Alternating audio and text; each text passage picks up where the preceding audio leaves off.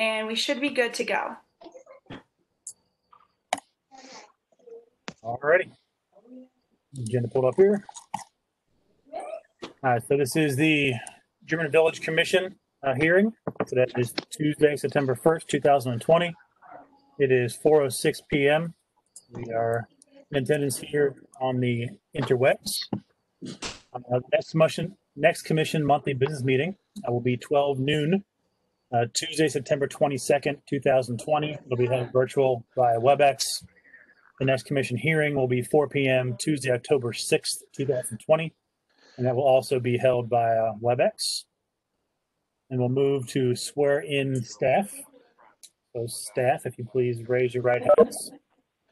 Do you swear to tell the truth, the whole truth, and nothing but the truth? I do. Jacqueline Lehman, Assistant Historic Preservation Officer. Thank you, Jacqueline. And then we'll go through the introduction of the commissioners present.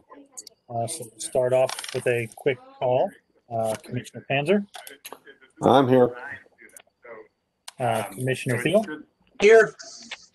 Commissioner Durst, Present. Commissioner Farrell, I'm here. Commissioner McCoy, Oh, maybe video these. I mean, Commissioner McCoy, you muted.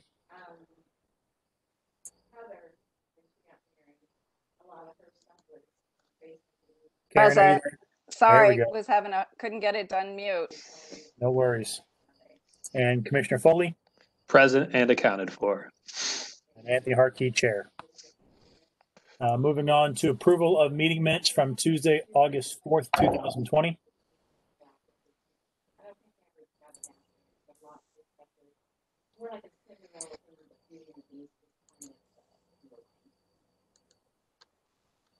Is there a motion for approval? I move to approve the meeting minutes from the last meeting. Second. Commissioner Durst moved, Commissioner Farrell second.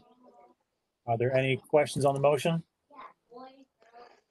Uh, A quick call. Uh, Commissioner Panzer, Aye. Commissioner Thiel, Aye. Commissioner Durst, Aye. Commissioner Farrell, Aye. Commissioner McCoy, Hey, Commissioner Foley, Aye. Chair votes aye, ayes have it, motion passes. Uh, Items for public forum, Declan, Uh, no public forum or no request. all right, we'll move on to the approval of staff approvals. So the staff approvals begin on page four of your agenda. Starting off, are there any recusals?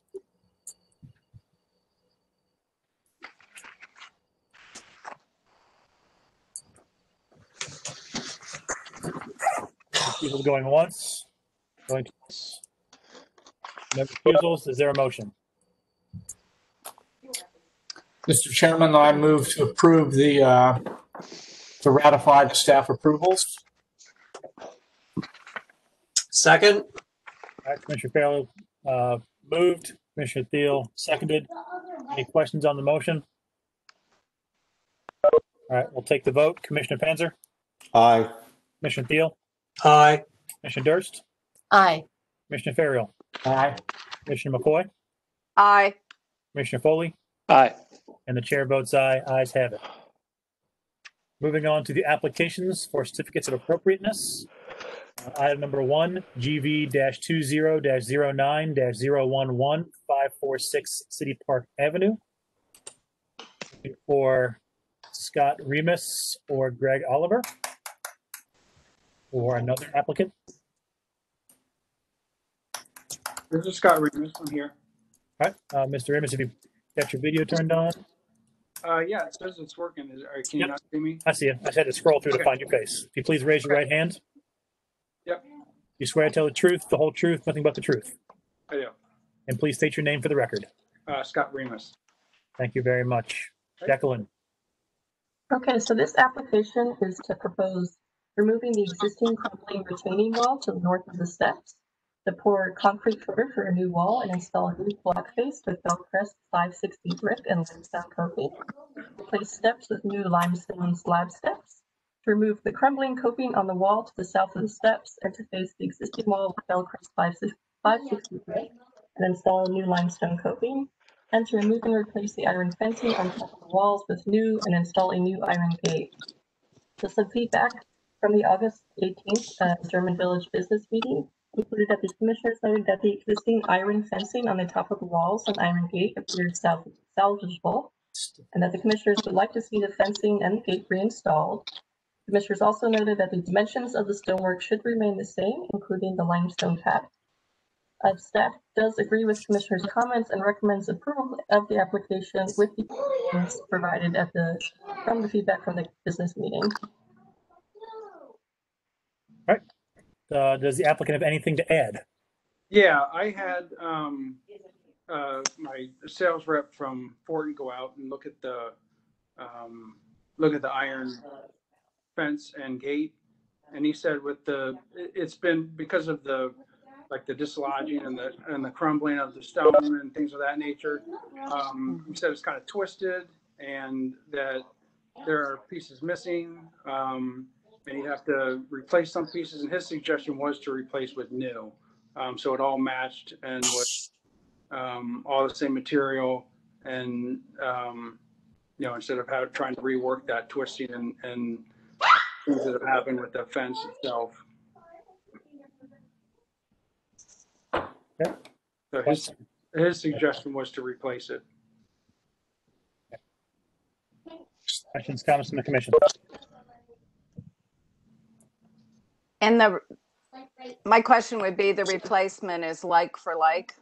Yeah, it's good. It's the exact same style. Um, uh, everything would be the same. It's just new instead of uh, trying to rework with the old. And it's um, Fortin is the company that would be in. So This is Commissioner Thiel. I just don't think it's that damaged that it cannot be salvaged. I was, like I said, I was going on the recommendation from um, Fortin when they went out to take a look at that in the estimating process. I mean, there may be parts that need to be replaced, but I don't think the whole thing does. Well, and this is a recommendation from the outfit that hopes to replace it. Exactly.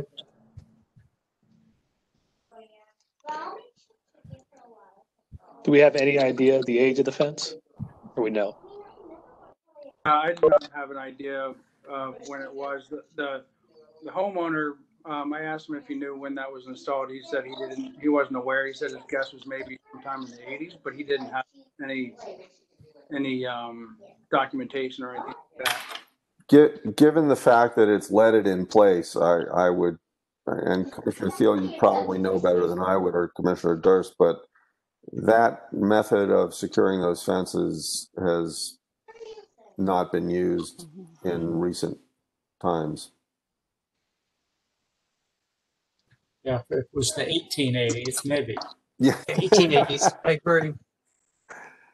I, well, I mean, it, I, I think it was used up, you know, certainly up until World War II, but I think there, there's, there's not a lot of evidence of it being used beyond that. Yeah, I would agree that it's it's pre World War II, probably. It could even be pre World War One, to be honest. Oh, yeah, I, what I intended to say is it, it's unlikely that it's newer than post World War II. Earlier, yeah, I mean, it could, that fence could be 120, 140 years old. Um, I, I think there, there are two things. One is that, that, um, while Fortin certainly has the capabilities of repairing old fences, that, that seems to have not, that, that seems to have been occupying a smaller and smaller portion of their business model as, as we've seen recently, that they are predominantly um, working on installing, uh, installing new products. That's part one. Part two is even if we were to consider um, approving a, a new uh, or, or a recreated fence here, um, I, for one, there's, there's no way I would even consider doing it without detailed drawings of exactly what the replacements are. Um, there's, you know, say you're going to do it exactly like this. I, I can, I can look at this now and, and think of at least three or four things that it is unlikely they would do in the same way that, that that they, uh, that this fence exists. So I just, I, I just, this fence looks like it's in too good a shape to throw away a historic part of the fabric of the village.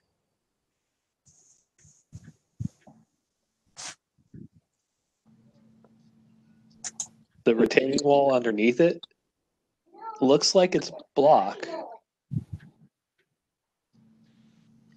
Yeah, on the south side, it definitely is. Um, you can see on the, yeah, on the wall and to the right on the south side is, is somewhat newer.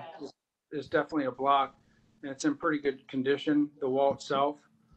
So on the other side of the stairs, right? There's the stairs divides it. Exactly. That's the south, to the right is the south side of the stairs and that wall is, is definitely like CMU block that, um, Maybe they just repaired that section. yeah, and the other, and the other section on the north side, um, is definitely in worse shape.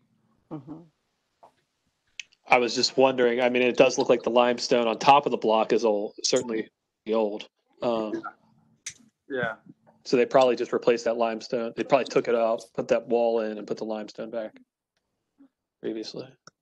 And one of the, o- one of the other things about the, um, uh, well, there, there are two issues about the drawing um, of the uh, retaining wall that I kind of take exception to. One is the, uh, the cap that's on the, that's shown on the drawing is considerably thinner than, or appears to be considerably thinner than the cap that's on the wall, the existing wall. And that if we were to, to allow replacement of that, you know, the material and the, uh, and the dimensions of, of all those materials would have to be in keeping with what was there. Okay, on the, on the limestone for the coping. Yeah. Yeah, I saw that in the notes and I, I talked with the homeowner about it as well and, and we discussed. it. Um, so, and I did take note of that you wanted to have that be the same dimensions as what was there. Not necessarily in our purview, but you probably want to put some kind of drain in back there too to, to keep this wall from Yeah. falling behind- over down the road. behind the wall, Yeah. yeah, once we excavate, uh, sorry, did I not have that in my, um, Mm-mm. yeah, I'm sorry about that. Yeah, we'll, we'll put drainage behind there. Again, it's not part of our purview, but it was just, I just noticed it wasn't drawn. So if I'm reading this right, the, the one part of wall is gonna be refaced, but the block wall is gonna stay in place. And the other side of the gate, you're gonna take the wall down and rebuild it completely, which means that whole retaining wall is gonna be approximately four inches more towards the street than what it is now. The, yes,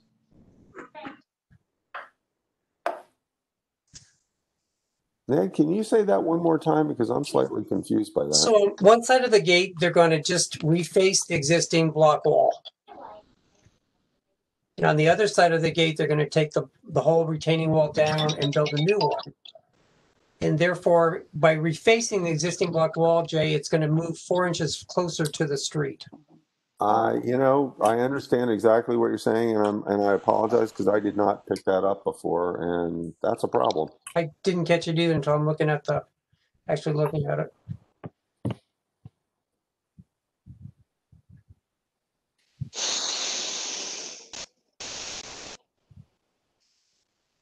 I mean, I guess one of my questions is why aren't we not talking about a parged block wall on the left side as we, as exists on the right side and just reparging the, uh, the wall on the right side? There was some brief talk about that in the business meeting. Yeah.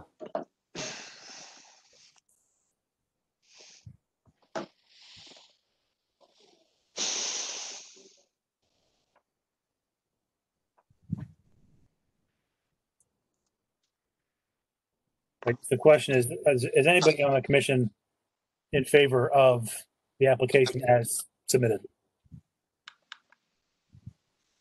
Give the, the applicant some some feedback here. Doesn't sound like Yeah. there's potential. So to the applicant, is this, are there items that you'd wish to, to alter? Or we can vote on the application as is. Uh, or we can continue the application to the next meeting. I want to give you some options here so you're not just stuck spinning your wheels. Okay, so if I, if I have it as is and we face that. So essentially, um, you know, kind of, what I was re- from the first analysis was just getting that it was essentially you guys, uh, I'm sorry, I'm stumbling. Um, the, um, so my options are, you know, change the, um, change with the new, you want to reuse the fence and you want to change the, the um, limestone. Um, but now we're talking about not wanting me to come further out toward the road. I think the general consensus, and I'm not trying to speak for everybody, is that it feels like the fence, the limestone, and the parge wall are all historic. And so if we're going to replace it, we'd like to keep what other parts are salvageable. Yeah. And whatever we're going to replace, we'd like to replace in kind rather than modify it with brick um, facing. That's, I think that's the general consensus of the room. Um, Just leave- others So you comment. want to be left with, sorry, I didn't mean to cut you off there. That's okay. You wanted to just, so if I redo the, the north side of the north wall where it's crumbling, just, you would prefer it be left as the, um, the con, the CMU block and not have. the Uh, a brick part, no part, like a parts concrete face, like it looks like. So you'd put a, a parge coat over top of the block. Portland cement. Yeah. Because it seems like that's historically what was there, is I think what we're all coming to terms with. Is that fair to everybody else? Yeah, I, I think you, Mhm. yeah, Brent, I think you got it. The, the, what we're looking at is what is significant. I'm sorry, I missed the last part. What we're looking at is significant. Uh-huh. So you could either modify your application to say that, or you could review it with your client. You could continue it and review it for- with your client, or you could ask us to vote on what you submitted. But it sounds like that the likelihood of that passing is not good right now. Uh, it does sound that way. Um, I suppose I can review with my client then, um, and go over kind of what you're, um, suggesting that we, how we move forward and modify. Um, and I, it sounds like I'll have to do that. Does that mean that I will need to reapply for the next month or? So if you, if you request for us to continue the application, um, we can vote to continue it and that'll put this application on the next meeting agenda, uh, towards the top of the agenda already. So you won't have to do a new application, just need to talk with, with Jacqueline at the city, uh, to make sure you provide her with any additional details or updated information, and she can put it with the application. Okay, uh, then it sounds like that that's what I need to do. Okay, then I'll motion to continue GV twenty oh nine oh one one. Second, I I think Commissioner McCoy seconded that. Any questions on the motion? All right, we'll take the vote. Commissioner Panzer, Aye. Commissioner Thiel, aye. Commissioner Farrell, Aye. Commissioner Durst, Aye. Commissioner McCoy, Aye. Commissioner Foley, Aye. chair votes aye, ayes have it. Thank you very much. Sure. All right, Moving on to item number two, GV two zero 9 12 641 Brust Street. Looks like looking for uh, Mr. Hugus or Ms. Graff. I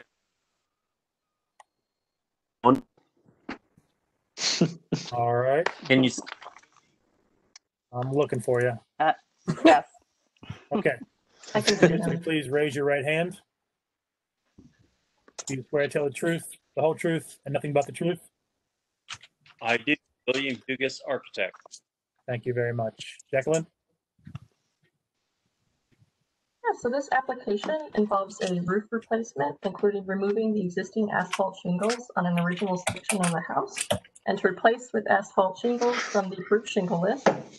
Um, the application also includes replacing siding and including removing the existing siding and the, the existing wood lap siding that is in poor condition uh, down to the studs. To add the OSB sheathing and house wrap and to add siding, either smooth wood lap siding or scalloped drop siding by Boral. The applicant would also like to replace window and door flat casings to match original profiles and repair wood windows. Some feedback uh, made at the August 18th business meeting included uh, the commissioners asking to clarify whether the trim will be proud of the new the work photo provided. And the commissioners noted that in addition to the flat casing, the trim boards should match the original profiles and that the corner boards appear to be currently missing and that the proposed four-lapped wood siding uh, option proposed by the applicant is the preferred option. Okay. Ms. Hugus, you have anything to add? I did not hear the, uh, the choice of whether we use lapped siding to replace the siding that's there or drop siding. Which one does the commission prefer?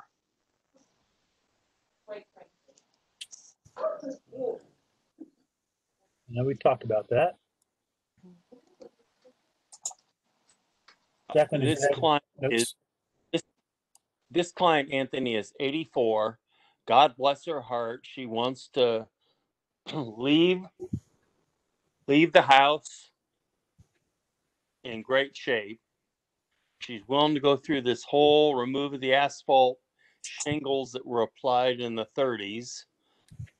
Uh, we've provided uh, photographs, the siding below it almost always on these buildings with asphalt shingles on the walls, mm-hmm. the siding is just horrible shape. So we would have to replace the lap siding. There is no sheathing under the lap siding, but the lap siding that's there is a full inch thick. So we would put 7 16 inch plywood, then new lap siding if that's the preference of the commission. Um, the new trim around the windows would be proud, just like it would have been on the original. And corner boards and and frieze boards would all be replaced per the guidelines book suggestions. Do we have an example of what the one by six scallop drop siding is, or looks like? Boral, yeah, I mean, uh, it's we used it extensively. Um, oh, the last two reciting jobs, it's exactly what we used. It's got the scallop at the top. Um, and by current not available.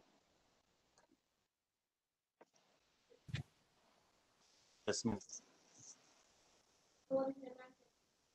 It's uh, it's more money as But I think you're freezing slightly, Bill. she's only either. I'm sorry. You were cutting it out there, Bill. Look at that picture. For some reason.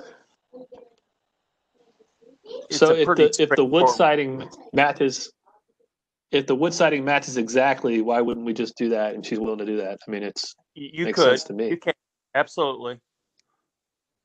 It's available.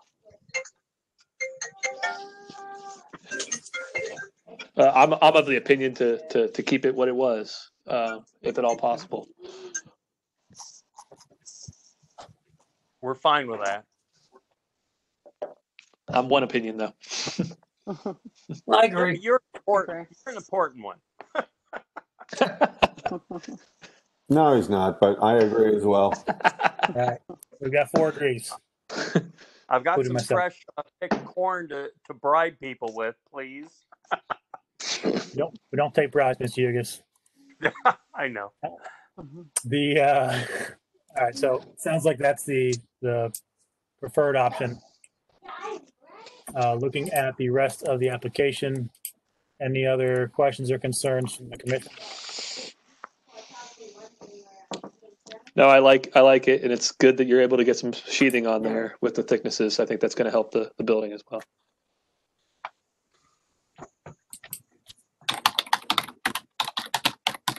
All right.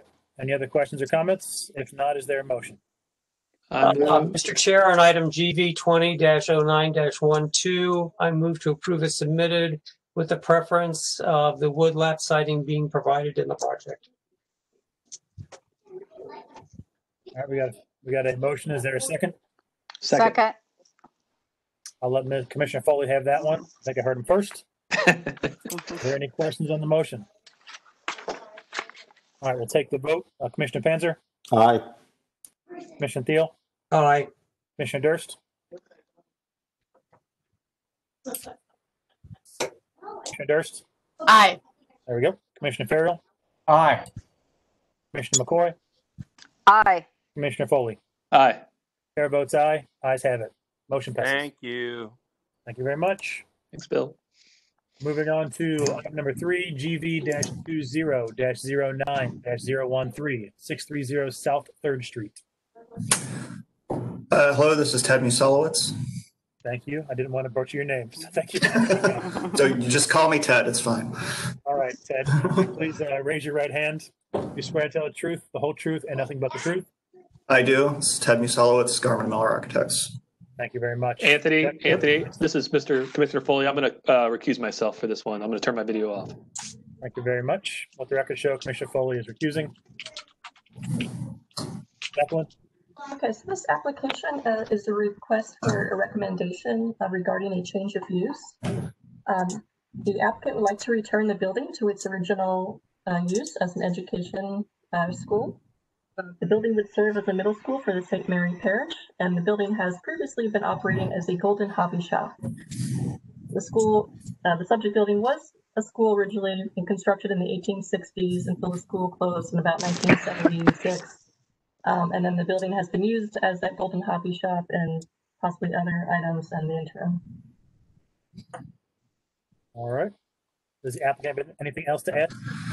Um, I think that covers it. I'd say that um, I think we're excited to have the opportunity to change the school to its original use and uh, I think, uh, I guess reinforce uh, the St. Mary's School and Parish as kind of an anchor to the uh, anchor to the German Village community.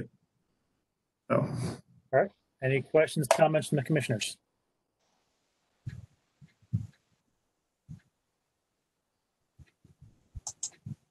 I believe uh, one comment I remember or question from the commission that came to the business meeting uh, was if there were any exterior alterations being done as part of this. I know that just the uh, change of use. I think getting the full information would be good to. Yeah, uh, we, we are not anticipating any exterior changes. Uh, There has been a staff approval for uh, repair and restoration of the windows and the cornice, um, which there's water damage on the cornice and uh, I guess paint removing various, various damage to the windows that we're repairing. Um, There may be, as, you know, Internally, we're looking at uh, options for the mechanical system replacement or repair. So there may be some uh, staff approvals that submissions for staff approval for mechanical screening as we work through that. But it's our intention that we're not intending to modify the exterior of the building in any way. Yep. Any other comments, commission, from the commission? If not, there a motion for a recommendation? Uh, Mr. Chair, on item GV twenty 9 one thirteen, I move to recommend the uh, zoning variance. Second, Uh, Commissioner Thiel, the first, Commissioner McCoy had the second. yes. Any questions on the motion? We'll take the vote. Commissioner Panzer, Aye. Commissioner Thiel. Commissioner Durst, Aye. Commissioner Farrell, Aye. Commissioner McCoy. Commissioner McCoy. Aye. All right, uh, Commissioner Foley has recused. Chair votes aye. Uh, ayes have it. Motion is recommended. Thank you very much. Thank you. All right, moving on to item number four. This is a continued application, GV two zero 7 41 245 Lansing Street. Yeah. Mr. Allen is on the call. Mr. Chairman, I'm here. All right, that's your right hand raised. Do you swear to tell the truth, the whole truth, nothing but the truth? I do. Please state your name for the record. Mark Hours, Mode Architects, representing the homeowner. Thank you very much. This application is to modify the rear door opening of the house, um, to demolish an existing non-historic garage structure and replace it with a carriage house with living space above the garage. And this carriage house would have sleeping quarters and a bathroom and kitchen. Uh, exterior materials would be boral, nickel gap siding, cement panels, and IPE slat railings. All right, and before we jump back to the applicant, uh, let the record show Commissioner Foley is back on the record. All right, Mr. Hours, anything to add? Uh, just point out that we've modified the alley elevation based on the feedback that we've received at the last couple of meetings. Um, I think it's made the structure more subservient and uh, has attempted to fit it into the alleyscape uh, in a more um, contributing. Uh, I don't know the word I'm searching for. I'm drawing a blank, but more sensitive than it was before. We've taken all of the contemporary cladding materials off of the public face. Um, so I, I don't think there's much more to say about this. I think most of you have seen it several times, so I'll, I'll shut up and listen. All right, uh, questions from the comments, questions or comments from the commission? Yeah, I'll lead off since I seem to be the most critical. so, again, um, Mark, you have made some changes. I don't think it's sufficient enough to make this an appropriate solution to the, the alleyscape. Um, north side again is one-story garages with perpendicular and parallel ridges to the alley. Um, you are a two-story flat roof structure that is alien to that uh, motif. The south side, you've got two two-story residents and one one and a half story residents, which doesn't justify an ancillary building across the narrow alley to have a similar massing. Uh, the remainder of the structures are one-story garages and industrial addition to the Whittier Commercial Building on that side also. So I think that all is, is not framed well for what you're proposing. Um, again, the proposed massing exceeds the structures adjacent.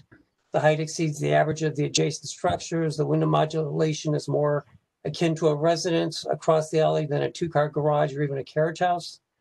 Um, and again, I remind you that the preservation movement was in response to demolition of existing structures to be replaced by the latest style in opposition to the context to make a statement, which I think is what's actually happening here.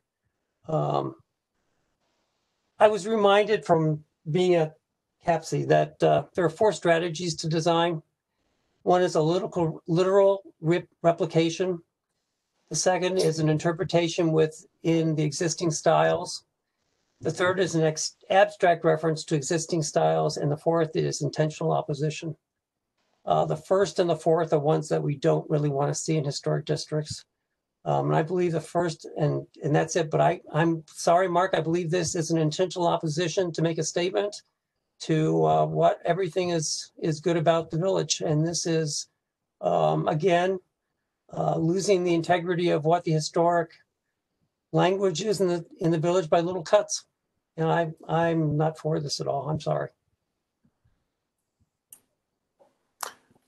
Uh, this is Commissioner Panzer. I, I had, um, it, it was quite interesting. I had, started the last go round on this being on the fence and found myself, um, agreeing, um, agreeing with the opposition to the previous iteration of this plan. Um, but I don't think that, that, uh, and, and I think what Commissioner Thiel said was really interesting. And and, and if I had to pin this into one of those four categories, I would pin it current in, in its current iteration pretty squarely in the third category, not in the fourth.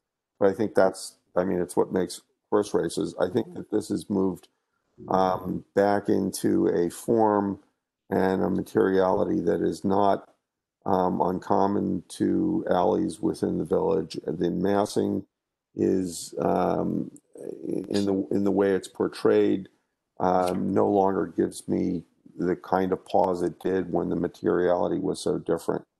Uh, and and when the materiality materiality was so foreign to the village, so I'm uh, I'm just okay with this. I, and I don't mean to say just okay. I'm fine with this. I've got no problem with it any longer at all. So I think it would be a an immediate precedent for anyone who wanted a modern architecture garage or maybe addition uh, in the village. But we have to worry about the incremental effect of the decisions we make, not just one off at the time. But this, the- this has the risk of beginning, of not beginning because it's begun elsewhere uh, in the village, of, of continuing the incremental change of the architectural character of the village. Yeah, But it's the- in an, yeah, it's in and out. But the, the, the time, I mean, the, there has been incremental change within, uh, within the village continuously since it was founded, you know, over 150 years ago. And nothing in our guidelines says that, that incremental change is by its nature bad. It, it's when things become overpowering to the, to the contributing aesthetic that it becomes bad. And as I said, I agreed that, that it had, had crossed that line before.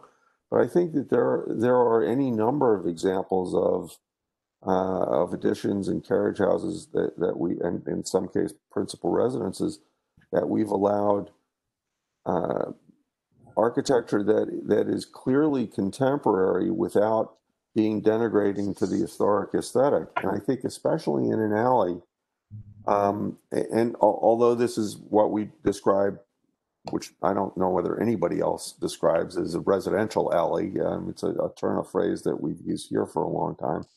Um, I, I don't think that, that this in any way denigrates the, um, the existing architecture within the alley. Nor- would a, a continuation of, of things that are as subtle as this. Um, and, and I think it, it is, it is now a pretty subtle expression of contemporary architecture as opposed to, to what it was in its previous, iter- in its prior iterations. So Jay, you said incremental change is inherent in the district. Historic preservation districts are there to prevent change, whether it's major or incremental, so that that fabric is maintained. And whether this is an alley or whether it's, a, as you said, it's common to alleys all over the village, I don't think so. Is it, is it appropriate for this alley specifically because this is where it's going to be built? I don't think so. I think you, are again, as Jeff is saying, we are incrementally losing the fabric of the village, one little piece at a time, until none of it will matter anymore. But we're And I think it needs to end. But, okay, well, well, eh, on, on that, then, we have a fundamental disagreement.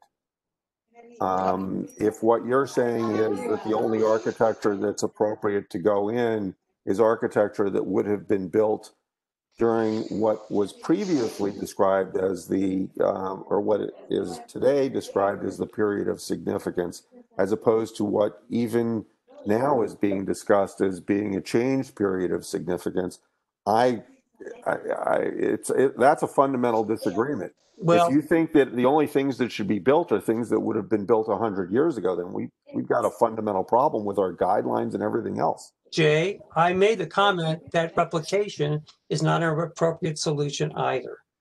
What we need to do is we need to highlight and celebrate the existing historic preservation, not by putting something out there that denigrates it and speaks louder than what it does. And this And speaks I- louder I don't- and says, well- this, and this says, look at me. I am more important than everything else down this alley. That is Well, not I- correct. While I don't, while I don't disagree with the fundamentals of what you just said, I, it- this is where we've got just a difference of opinion in terms of whether it, it is an intrusion in, into it. I don't believe that the design as it currently stands is an intrusion. Doesn't match the massing, doesn't match the height, doesn't even match the modulation of the openings. I can't imagine of anything being more of an intrusion across three characteristics. I think I the thought view you're looking at right there says it all. I think we're called to make a judgment as commissioners whether or not we believe this is in the the context of the guidelines as we see them and as they're written. Um, and as I see them and as they're written, and we've debated this several times recently, it talks about uh, varying the three the three main categories in new construction, massing, detailing, and materials. And I fall on the side of Jay, the same side as Jay, that this is varying in enough to distinguish it from the existing, but not varying so much to make it too foreign. And I think we have to be careful uh, as commissioners to not um, keep this as a space to put our philosophies of what we think it should be.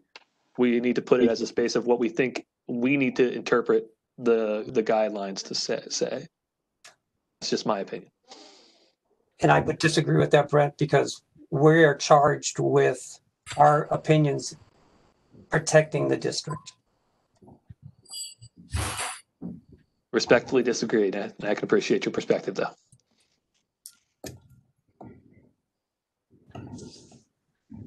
Commissioner Durst? Last thoughts?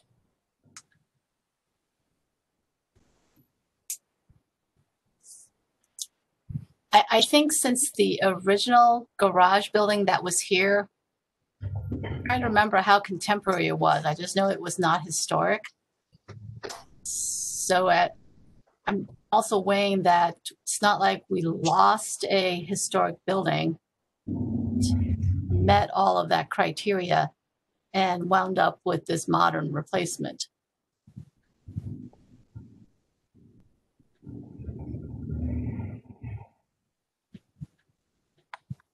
Any other comments from the commission?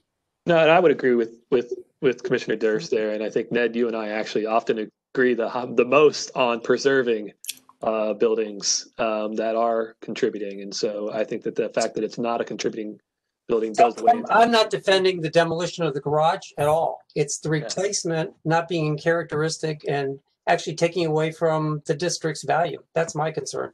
Am I, am I moaning the loss of the garage? Not at all. Not at all. It's not historic, everything. I, what I'm looking at is what this does to not only this alley, but also the value of the fabric across the historic district.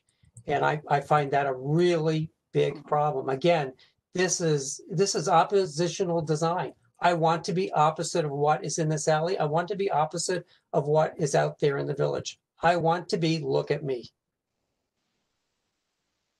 That is wrong.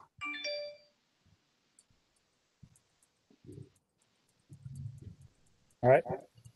I think we focused mainly mainly on the garage. I think we kind of got a feel for the majority of the commission. Uh, real quick, any thoughts on the, the door, uh, modification on the primary structure? Any issues with the primary structure?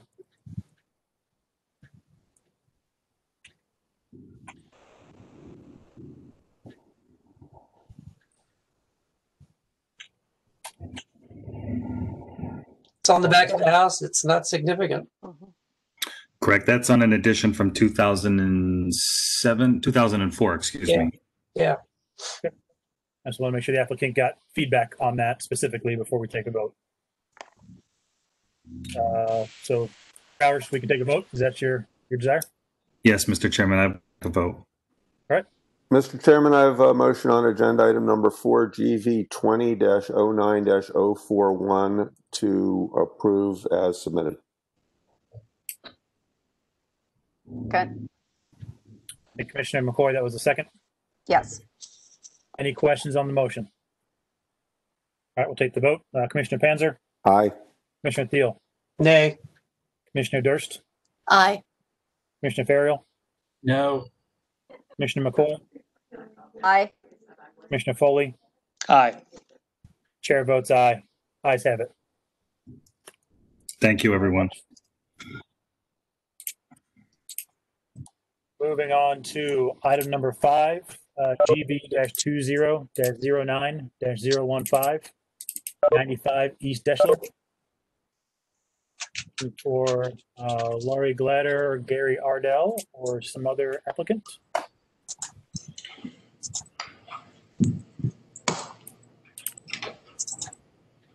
We have a applicant for 95 East Deschler. Steve Hurt. There we go. All right, uh, Steve, looking for your camera. Looking through. There we go. I see him. You please raise your right hand. You swear to tell the truth, the whole truth, nothing but the truth. I do. And please state your name for the record. Steve Hurt with Urban Order Architecture. All right, Jacqueline. Okay, this application is uh, proposing to modify the lower right window opening at the rear elevation to match the existing upper left window opening. Uh, the vinyl window would be replaced with a Marvin aluminum clad wood window. Um, the applicant would also like to replace the existing rear door with a full light flush glaze smooth fiberglass door. The original transom and frame are to be retained. Some feedback from the August 18th uh, GVC business meeting included that the commissioners requested some additional close-up photos of the windows help determine um, the infill versus the original masonry. And the commissioner for the proposed rear door, the applicant has provided uh, both materials. The commissioners also requested Sanborn maps um, from staff, which has been added to the materials. Um, and just to note that staff uh, would want to see evidence that the existing window opening has been modified to support the proposed alteration. All right. The last part? Uh, so the staff would want to see evidence that the existing window opening has been modified to support the alteration of that window opening. I said, believe at the business meeting, the, the question was the window, the center window on the, on the first floor. It looks like there was potentially some brickwork. The question was, was it modified at one point in time? Or was that just fixing brickwork? Like looking for evidence of that specifically. I guess staff had uh, questions about the lower right window in particular. They're just, uh, at least from the photos submitted so far, it's hard to see evidence um, of modification like there is to the left uh, for the left window. We- We had questioned whether those windows were original windows or if they were modified, bricked up at some point, just because they're an odd shape. elevation. So what's proposed is we're modifying both windows on the first floor. Okay, so the center window on the first floor um, doesn't match any of the other windows on the first floor, and I believe that that was modified to put a kitchen in behind there. So I think it's it's my understanding that that was staff approved or recommended. We changed that to match the existing first floor windows that are everywhere else and make it line up again with the window above it. The, the window to the east of that, to the, to the right in the photo is just odd and it doesn't, it doesn't match the size or the alignment with the other odd window above it. So we were just going to try to sort of unify all of these windows on the first floor and leave one odd window on the back elevation.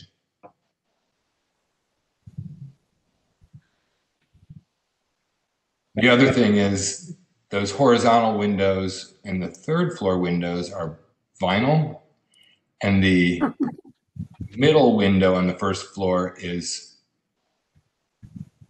a, a something clad wood window. I think it's a vinyl clad wood window. It's a it's another odd oddball. So it's I, I believe it's very clear that the center window has been modified. I don't I don't know what the history of the horizontal window on the first floor is.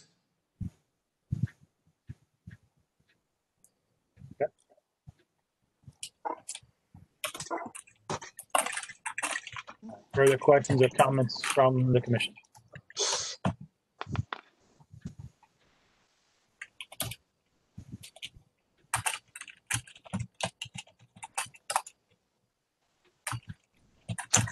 So just, just to be clear, we're, we are, if we were to approve this, we're approving both windows on the first floor being modified?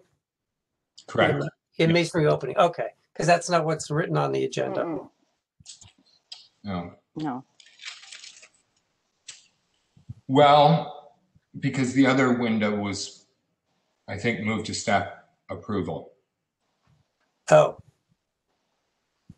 Is, is that, is that correct? That is correct. So, so the window that had evidence of it being altered and uh, especially with the kitchen and the altered brick, we thought we could staff approve. The other window, however, um, we don't have evidence as of yet that the window opening has been modified. And that's the lower right horizontal window.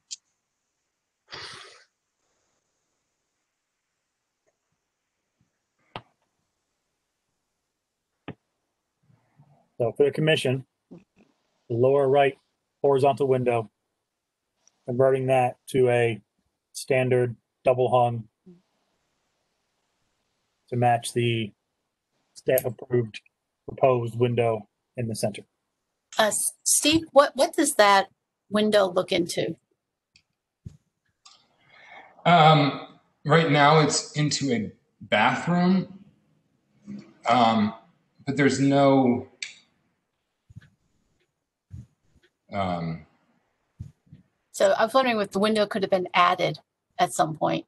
could have been the thing that the, the thing that I that I think would be the closest would be some kind of a butler's pantry, but it doesn't make any sense in that location. Um, it doesn't make any sense that the header's higher. well, when we put the new window in, the header will be at that height. They lowered that window, moved it over, and raised the sill, and the, on the middle window. Okay. So that is the correct height on the window on the right. Yes. Mm-hmm.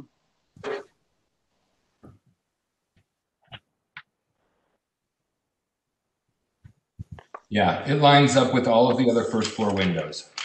Okay. So they they might have I don't know, expanded it. I don't know. There's some there's some shadow lines, but they don't really have a lot to do with this window.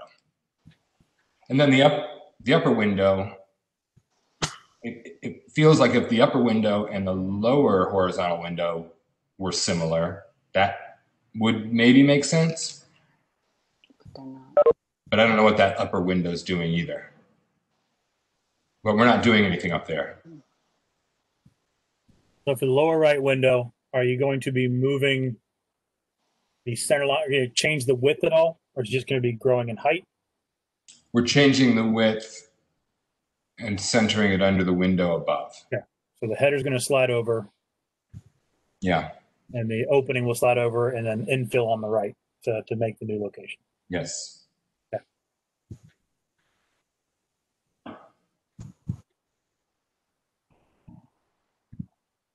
Any, any issues from the commission on the alterations to that window opening as submitted and clarified? No. All right. Uh, hearing none. Uh, the other item on here is the door uh, being replaced, going to a full light flush glazed smooth fiberglass door. Original transom and framed. I believed uh, the question at the business meeting uh, had to do with that transom and how that is going to uh, integrate between the existing transom and the new door. We would just replace the slab. Do we have cut sheets or anything more on the door? Is it? What are the accepted ones or whatever? I sent some in, I, I believe. They should be located towards the. Uh,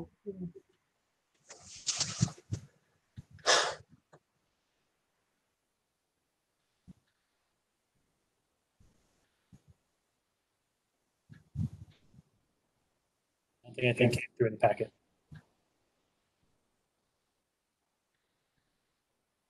But we were just proposing a full light, uh, painted, smooth door. whether that is fiber, I, my preference is that it's a fiberglass door. But it's protected under the porch, so if, if wood is a preferred option, we can do wood. We're just trying to get more light in there.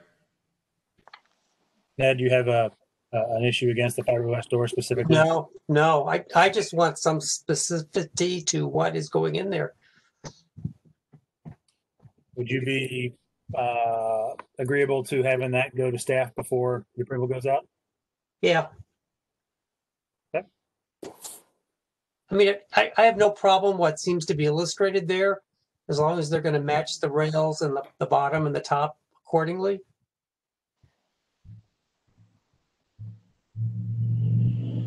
Uh, Jacqueline, do you need any information from the commission on what to approve on that door? No, I think uh, we could staff approve it. That's fine.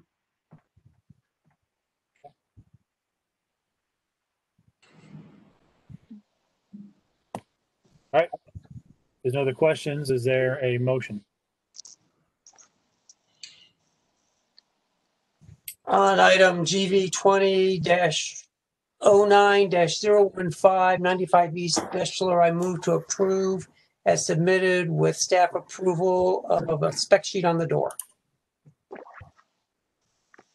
Second. Uh, Commissioner Thiel had the first, Commissioner Durst had the second. Any questions on the motion? All right, we'll take the vote. Commissioner Panzer, Aye. Commissioner Thiel, Aye. Commissioner Durst, Aye. Farrell. Commissioner Farrell? You're muted.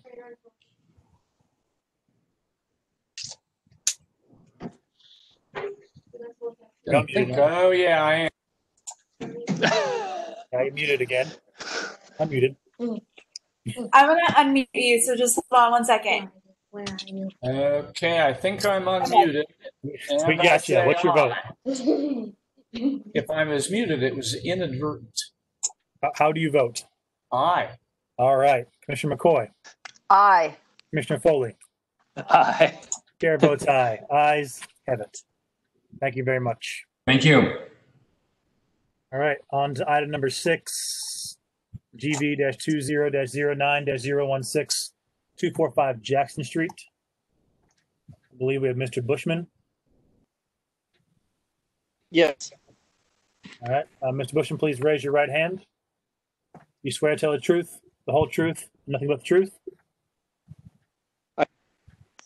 And please state your name for the record. Uh, Bushman. Thank you very much. Jacqueline? This application is to replace a rotting garage door with a Hamilton Parker model 8500 garage door. The proposed garage door would be steel and contemporary style with no windows. Um, the color would be black. And if the material is not acceptable, the applicant has noted that they would be willing to choose wood applied over steel. And the applicant has submitted updated material since the last business meeting showing a, uh smooth local door. Uh, Mr. Bushman, anything to add? Uh, well, would strongly prefer something that doesn't rot because uh, the existing door is the garage is not so old and it's uh, the door is already rotting. So would prefer to use. Uh, I called Hamilton Parker and they said the steel door would be. Um, uh, it, w- it looks it would look just like wood and it would be solid it would be black it wouldn't stick out but it would be it has a lifetime warranty which sounds really good to us.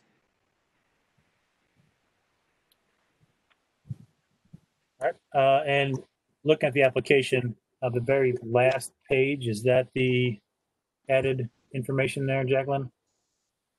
it's like this Looking one right there. Okay. um, but it would instead of dark brown it would be black and it's just a one car garage it's not a three car garage but that's the style it would be uh, just solid black Just want to make sure the commissioners were aware, aware of the specific uh, door style. that's the one Uh, questions, comments from the commission?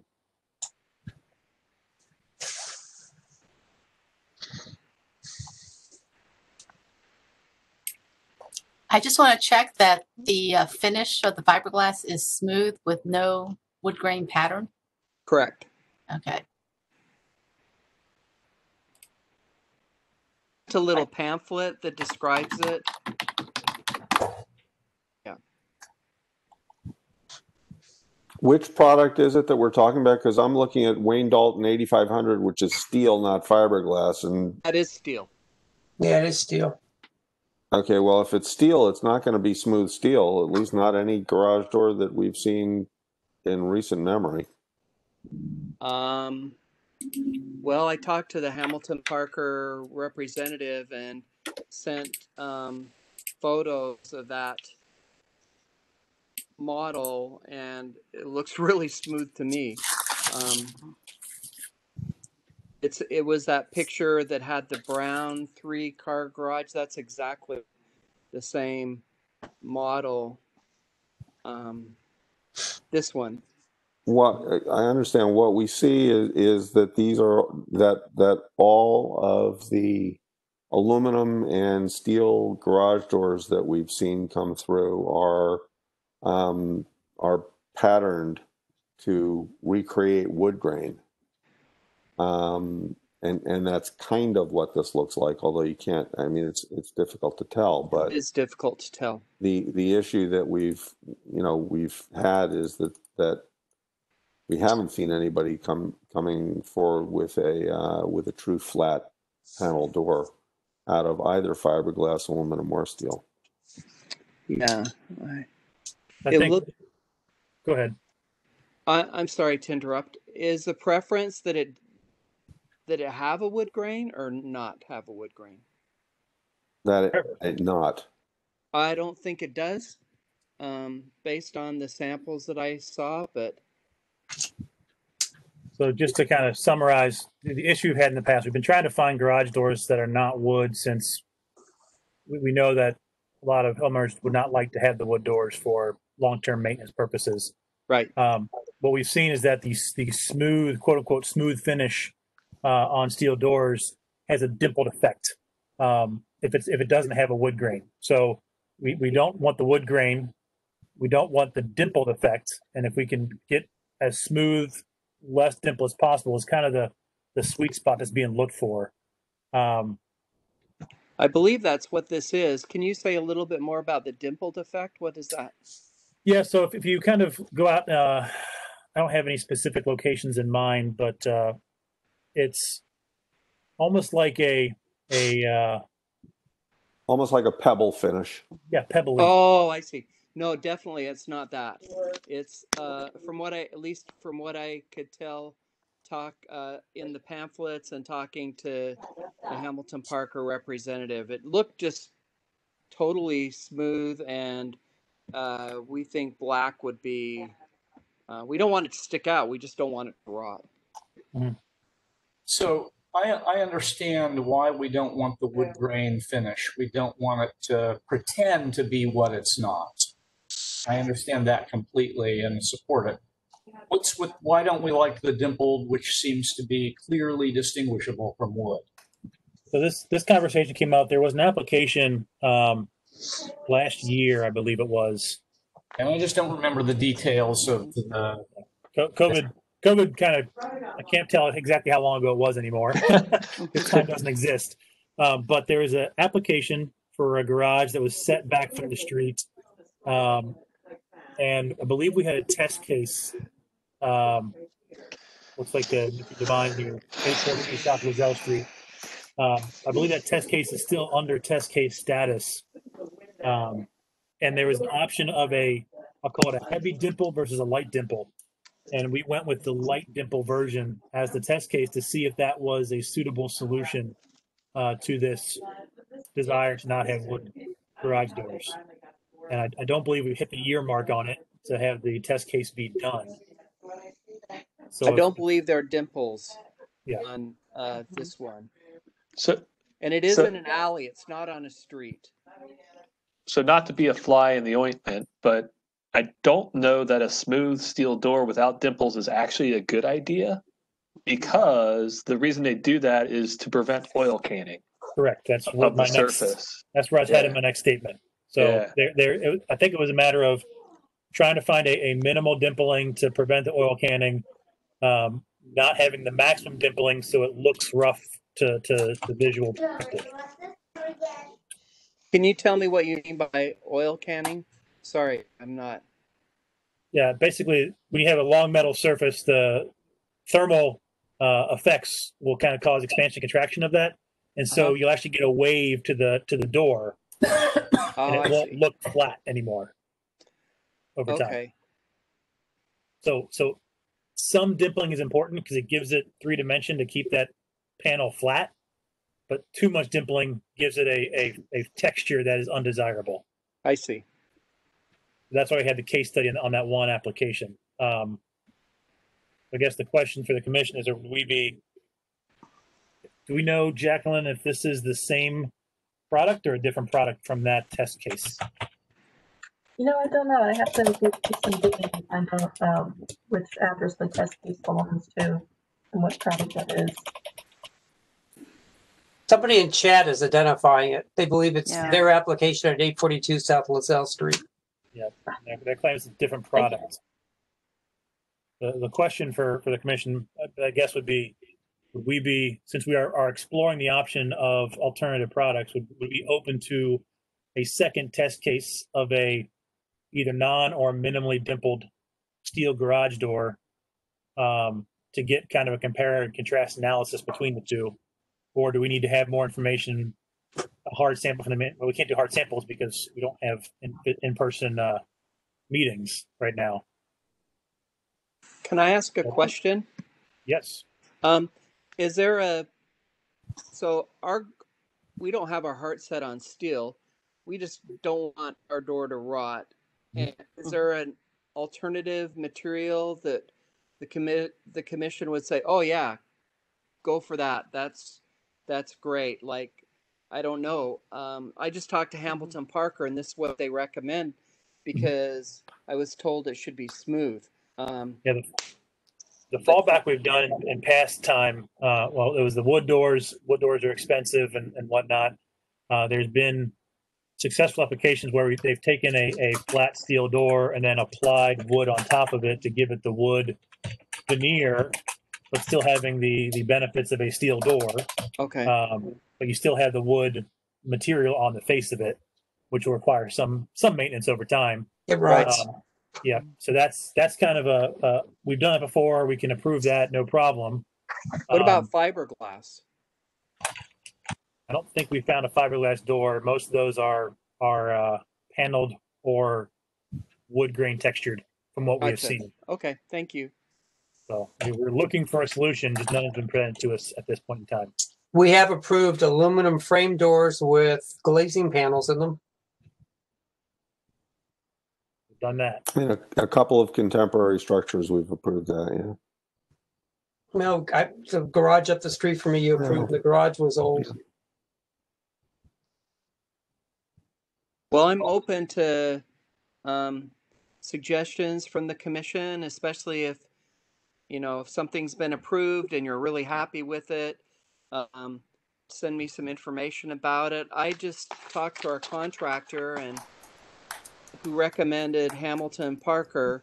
And so I contacted them and I explained that we needed something that was smooth and this is what they recommended. But I'm certainly not a garage door expert. Um, I just don't want to be painting it and repairing it all the time. Uh, Understood.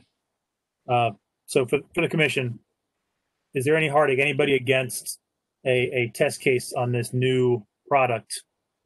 Are you comfortable with the information provided, or do we need to have more information in order to get a test case? And then we can kind of go from there. You know, we've got garage doors all over the place as far as materials and everything else go. I, I don't think there's any harm in doing a test case. Agreed. Any thoughts against? Agreed. So, Thank you very much. Mr. Bushman, so if, if you'd like us to, are you, are you asking us to vote on the steel door as you've applied? Yeah, sure. put here? Because Hamilton Parker said it has a lifetime warranty. Okay. Uh, it won't rot. It's smooth. Um, And if it's smooth like we expect, you may have brought us a wonderful thing. No. okay. Yeah. Well, I'll keep you Okay. posted. Yeah, do. So we got to take the vote here. So is there a, a motion from the commission? Certainly on item GV 2009-16, 245 Jackson Street, I move to approve as submitted and considered a test case. Second, All right, and clarification on the test case, uh, we typically want to be notified, have notify staff, um, after it's installed. And then we'll start the, the twelve month clock so we can take a look. It's on an alley, so the commission can walk by it at your leisure. Okay, sure. uh, To, to look at it. So, Yeah, let us know when it's installed. Okay, sure. all right, any questions on the motion? We'll take the roll call. Commissioner Panzer, I'm going to abstain on this. Commissioner Thiel, Yes. Commissioner Durst, aye. Commissioner Ferriel, Aye. Commissioner McCoy, Aye.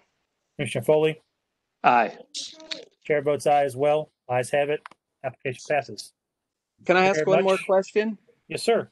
Uh, So I, I've never encountered the word test case, so I understand that you'll be looking at it in a year.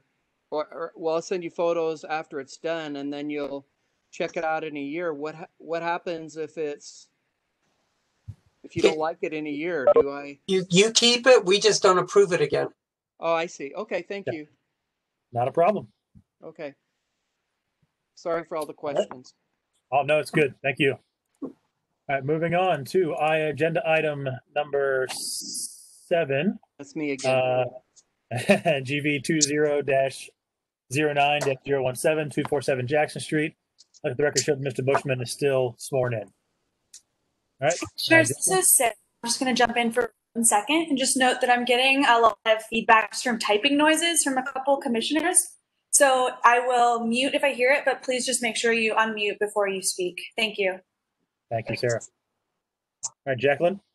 Okay, so this application involves replacing existing asphalt shingles on the rear of the house with synthetic slate shingles. The main portion of the house has an existing slate roof. The applicant notes that a structural engineer believes the original shingles at the rear were originally slate. The applicant would like to replace the existing asphalt shingles on the front porch as well with synthetic slate, um, as well as the garage. Um, the applicant noted that the structural engineer cannot confirm whether the front porch was formerly slate. Um, some feedback from the mission meeting or the business meeting from August 18th.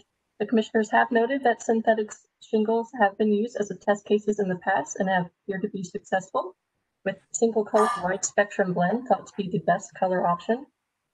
Commissioners did ask staff to confirm brands or products of synthetic slate used in the past.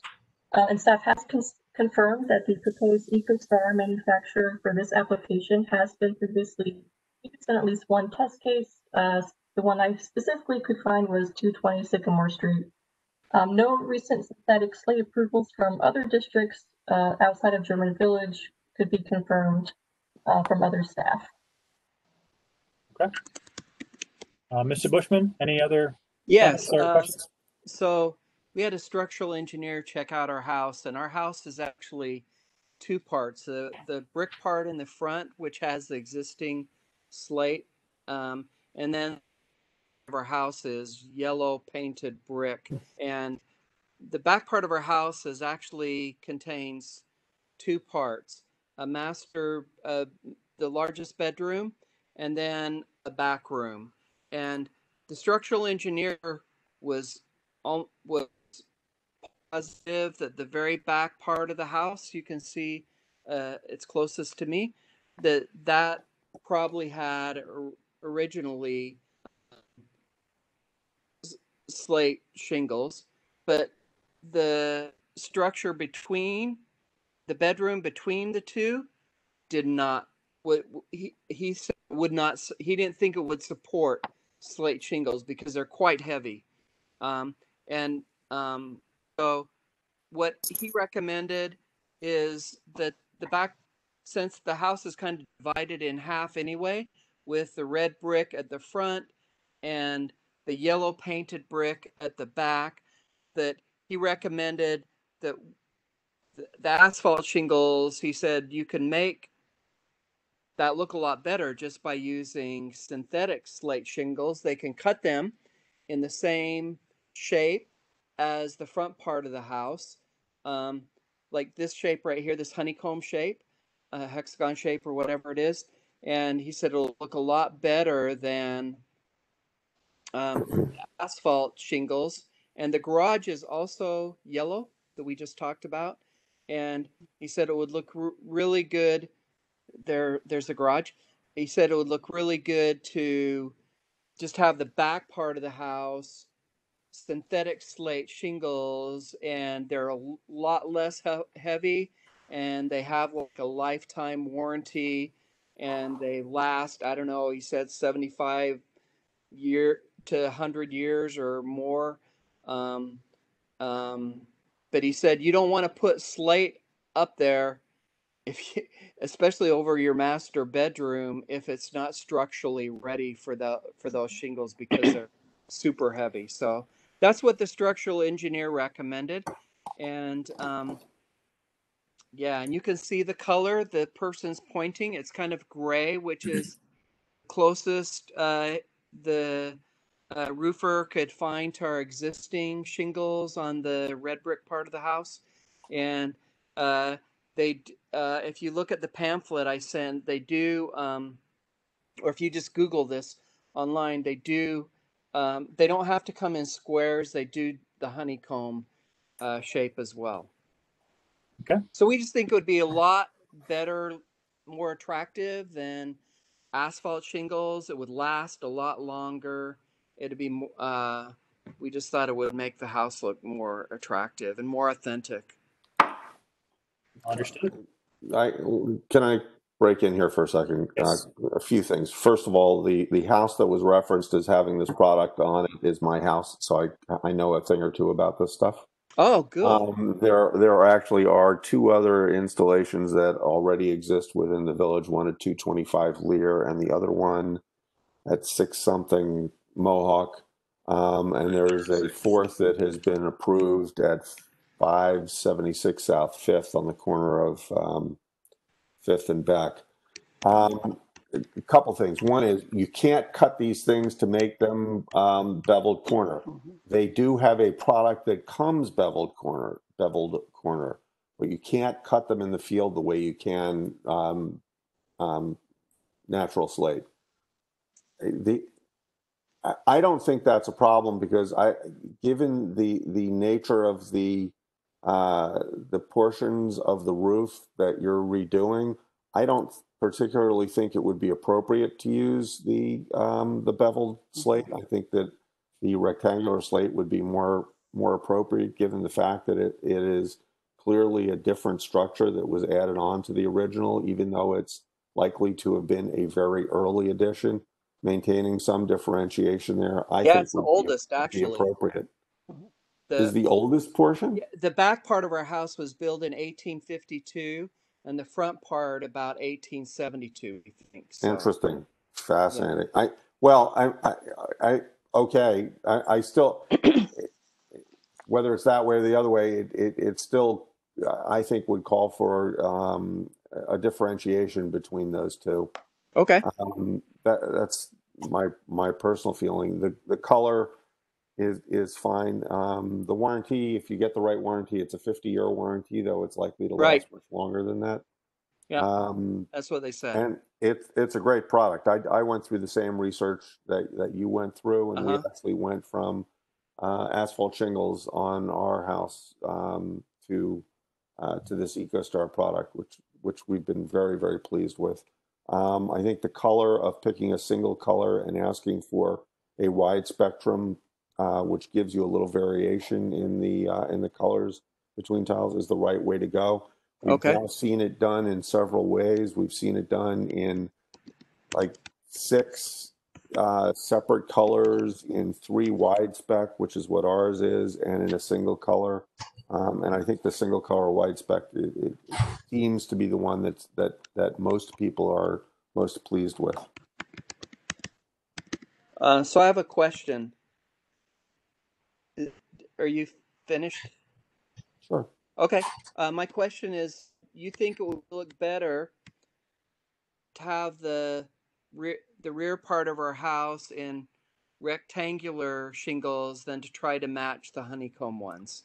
Is that what You you're won't saying? be, you won't be able to match the, the, the, the, uh, the beveled corners um, are unlikely to, to match exactly the beveled corners and the character of the material, while very close to, to synthetic slate, is, is not an identical match. So I, I think that once you start with the differentiation, I think you're better off kind of carrying it through. That's my personal opinion. Let me, let me put it this way. If you were to say you really wanted the beveled, beveled corner, I would still be in favor of it because I think it's a, a great improvement over uh, asphalt shingles anyway. I'm just Right. saying, if it were my house, I would probably use the square, square cut on the garage and on the, uh, and on the addition. But that's, that's a fielder's choice. I mean, that's just your opinion. Okay. Else the commission? Anybody else have a, a feeling one way or the other, or good to go with either option?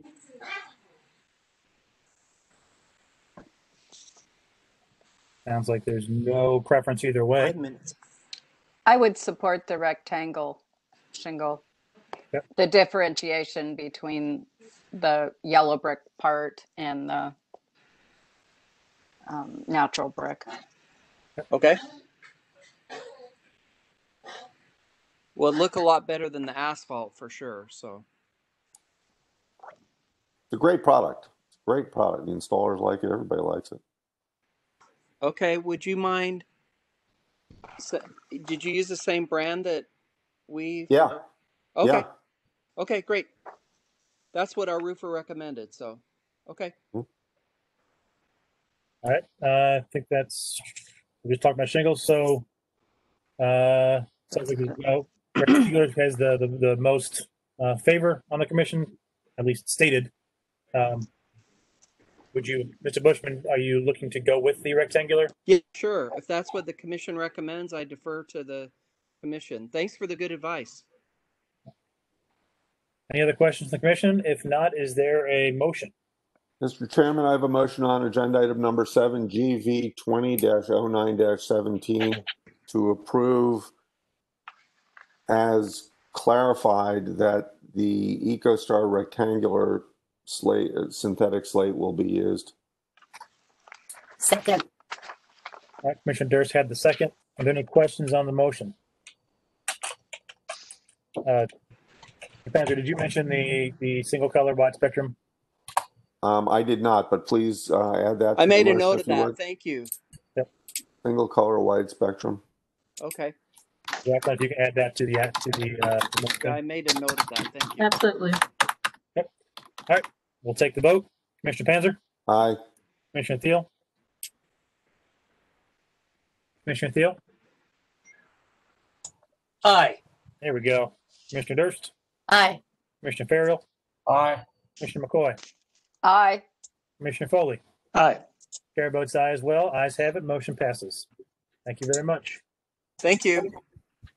Uh, moving on to item number eight, GV two zero 9 one eight eight four two South Lazelle Street. And Mr. Divine, Devine, Divine. Divine, there we go. Uh, looking for your camera.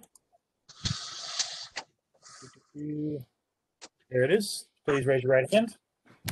You swear to tell the truth, the whole truth, nothing but the truth, I do. and your name for the record? Uh, James Divine. There we go. Right, Jacqueline? This applicant uh, would like to replace their existing half-wall gutters with the standard OG gutters. The applicant is aware of staff recommendation regarding gutters as well as the commission feedback provided at the business meeting. Um, and both staff and the commission caution that the OG gutters on an angled fascia would cause water to dump out and possibly create additional issues and greater costs in the future. Um, so that the applicant uh, is would still like this to be reviewed due to the great cost of installing the half-round gutters or new half-round gutters. All right. Does applicant have anything else to add? Yeah, please. Um, and so, uh, forgive me if this is like misclassified. Uh, if it was supposed to be a conceptual review, uh, I, I wasn't entirely sure. I, I don't imagine you're going to approve this, uh, especially based on what I heard in the the meeting in in middle of August. really what I want to have is just a conversation on what I can do. And so I, you know, I've been quoted for half round gutters for about, you know, $15,000, which is, you know, 5% of my home's value. And, and I can't afford that. Um, and I've got, you know, leaks in these gutters that have been fixed multiple times. I have, uh, and I wish I had a picture of it. I'm sorry. Uh, water that just dumps over those gutters. Uh, and, and so what the what the roofer instructed me is that they're not sufficiently wide. Even if he could rehang them, they they just need to be wider. Uh, and so I just want to know, you know, what are my options? What can I do? Or is the answer just, you know, sorry, Jimmy, spend fifteen thousand dollars on new gutters? All right, anybody from the commission want to take that one? I mean, the only thing I want to take is, is yeah. First of all, half round gutters are what belong on this house. Let's just start there. Um, secondly, fifteen thousand dollars for six inch aluminum half round gutters just sounds totally out of whack um, with anything that that I've had done or or, or seen done. Um, I I I don't know what to tell you. Uh, so, so maybe I'm just maybe I'm just a chump here, and I need to get a few more quotes. I, you know, I, I, I certainly wouldn't, I would not agree with the first because you're trying to do this the right way and you're coming to us and asking for a conversation on it. So what, however you would characterize the situation, I would not characterize it as you being a chump. Uh, in, in term, and, and we appreciate it greatly. In terms of, uh, of, of whether, I, I- think you, you've got to go and, and talk to some people, uh, you know, whether they were quoting for copper gutters, which is not something that we would ever require in this kind of a circumstance. Um, you know, six inch half round gutters, you can go out to uh, Roofers Wholesale um, uh, and, and take a look at them uh, and, and see what, you know, how they're installed and, and see the, the type of materials that are used. But th- this seems like a fairly straightforward situation of, of needing to use half round gutters um, in a in a six inch size and and make sure that whoever hangs them knows what they're doing um, because uh, one of the critical things about gutters is that they get hung at the right elevation so that they don't get ripped off by snow and so that they catch the maximum amount of water but I don't think there's any question as to what the appropriate solution is here. I'll throw in my two cents. I, I got half rounds on, on my property and uh, I just had them redone. Uh, the, the gutters themselves were not in bad condition. Uh, so I actually had them uh, refinished, repainted on the on the outside and relined on the inside. Um, saved a ton of money that way. Um, so I would definitely get a couple quotes from a, a few different reputable uh, gutter guys who actually do half round.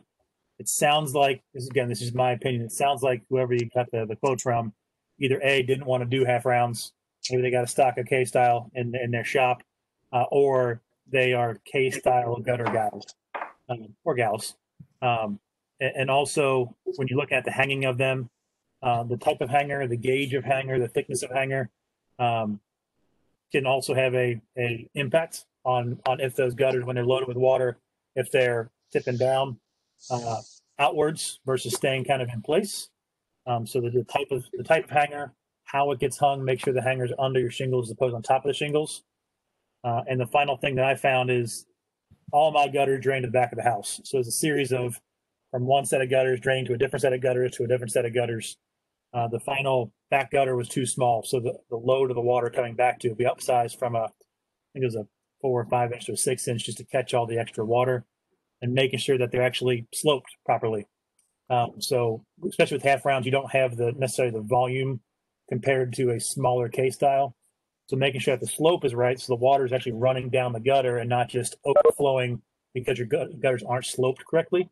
Just looking at the pictures, it's hard to tell, but it looks like there's not a whole lot of slope to the gutter um, from one end to the other. So that may be another issue of why you're seeing some water overflow.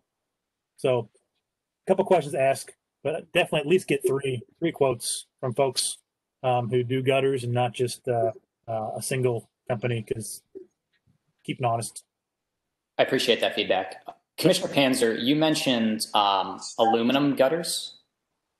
And uh, my understanding is that for a quality half round gutter, they need to be uh, hand soldered, you know, or something that's hand solderable, and that aluminum isn't conducive to that. Or again, are they just blowing smoke at me?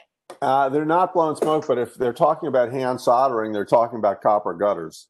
Um, and the idea that, that the, that the gutters on your house would cost fifteen thousand dollars if done in copper doesn't surprise me even a little.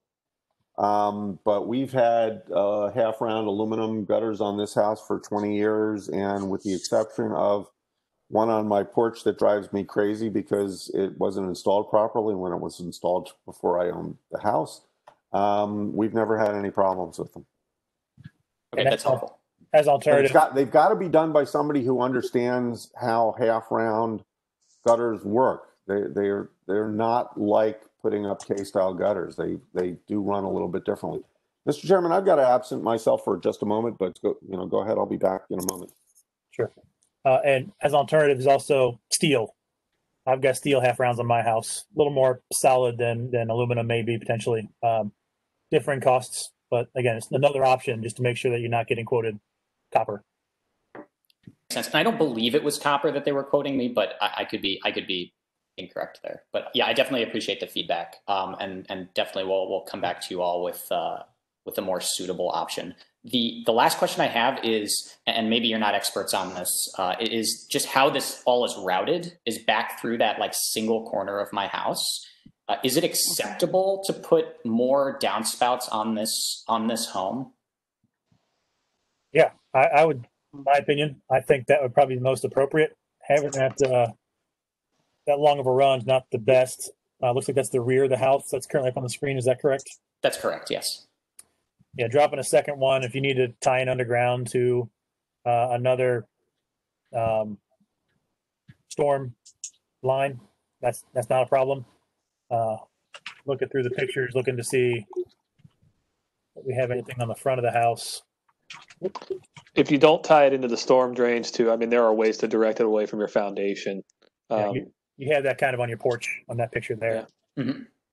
So yeah, adding extra downspouts is not a big deal. We don't want to see a downspout down the center of the front of your house or anything like that, but on the rear for sure, on the side, that's not not, not an issue. Great. Uh, in that case, uh, I I don't, I don't think you need to vote on this, but uh, uh, thank you for your time and, and thank you for the advice. I appreciate it. And for, for the record, if, if if you do go to need an application, what we can do is we can vote on continuing the application. So it stays on the agenda for next month. That we don't got to go through a whole new reapplication process. Yeah, that's, that's, that sounds like a great idea. Thank you. Commissioner Foley, do you have something else to add? there, Or Uh, I was just going to comment that the we're not supposed to consider cost at this phase, but putting it in percentage of the value of the home was one of the most compelling arguments for cost I've I've ever heard, and I appreciate the perspective on that. But I'll go ahead and motion uh, to continue. Uh, I lost it. Are we on seven or eight? Eight. Uh, GV twenty nine one eight. is there a second? Second. All right. Any questions on the motion? Take the vote. I believe Commissioner Panzer is still away. No, I'm, I'm back, but I think that since I did have to step away, it would only be appropriate that I recuse myself. Thank you. Commissioner Thiel, Aye. Commissioner Durst, Aye. Commissioner Farrell, Aye. Commissioner McCoy, Aye. Commissioner Foley. Aye. Chair votes aye. Ayes have it. Motion's con- motion to continue is passed. Thank you, commissioners. Appreciate what you do for German Village. Uh, we shall move on to item number nine, GV two zero 9 19 This is uh one two two one two four Copper Street. We have Mary uh, Ryder for another applicant for one two two one two four East Kossuth Street.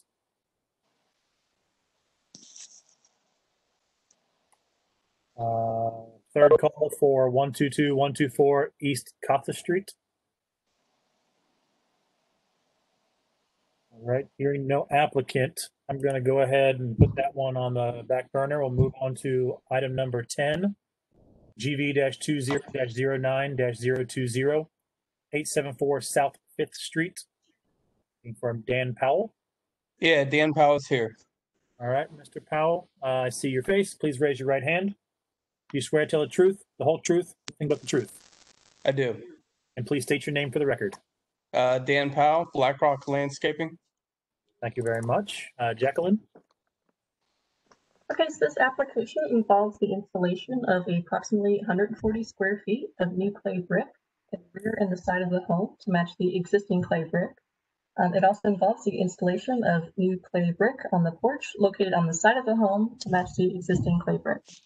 Um, some feedback from the August 18th German Village Business Meeting included that the commissioners noted that adding brick on the concrete base may create an issue with the water table and height issue with the steps, and that the brick material in general was not recommended for the, the porch base. The commissioners requested a plan sketch showing proposed areas of new clay brick, and the applicant did provide uh, an additional plan sketch shown here on the screen. Thank you, Jacqueline. Uh, does the applicant have anything else to add? Uh, no, I don't think so.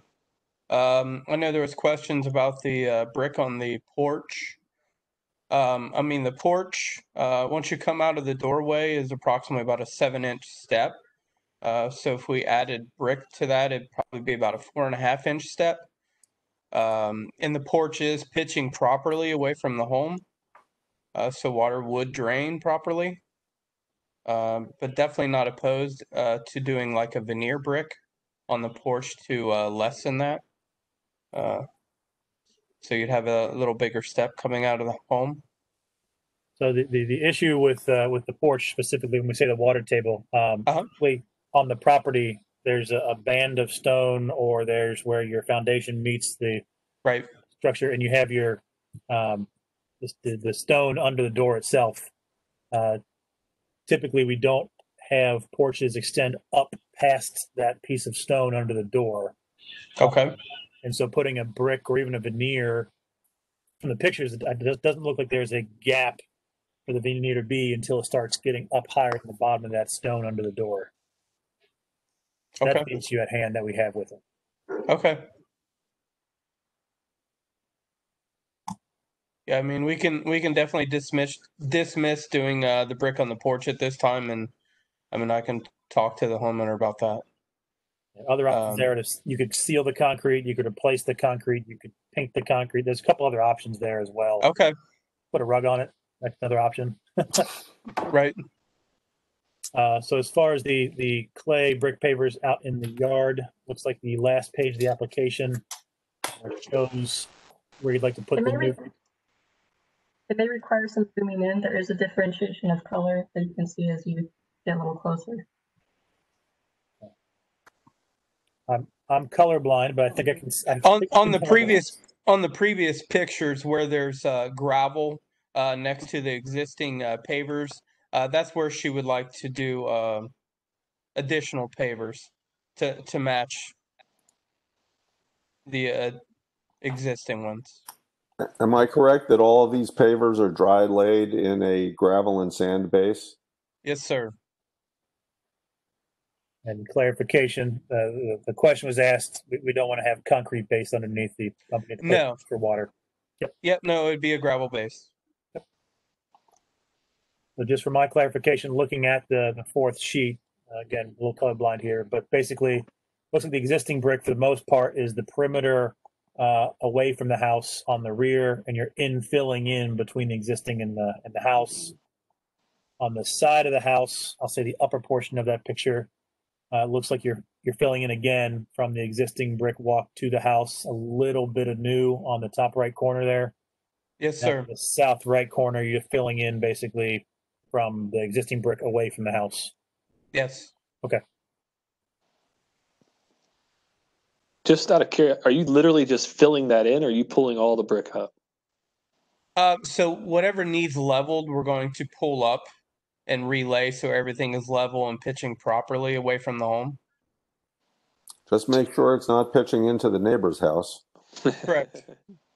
And then, so you're leaving all that existing patterning. So the, the, the drawing we're seeing now is a little, a little misleading because I believe it shows all the brick going in the same way. Not that we really necessarily Yeah, care it's too much, but you know, I'm just trying to understand. Yes, we're just basically going to follow the same pattern. You're going to pull up the border Okay. uh, of the brick and then uh, continue with the same pattern. Okay. Okay. Thank you. Yes. Yep. Any other questions or comments from the commission? Mr. Chairman, I have a motion on agenda item number 10, GV 20-09-020 to approve as amended by the applicant uh, to remove um, addition, to remove the addition of brick on the porch from the application. Second. Any questions on the motion? No. We'll take the vote. Uh, Commissioner Panzer, Aye. Commissioner Thiel, Aye. Commissioner Durst, Aye. Commissioner Farrell.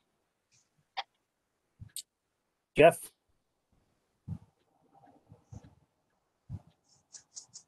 Commissioner Farrell, are you there?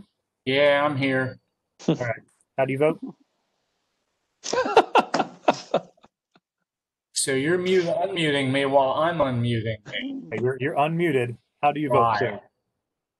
Aye, aye, There we go. aye. There we go. Commissioner McCoy, Aye. Commissioner Foley, Aye, it's like a Laurel and Hardy skit in here.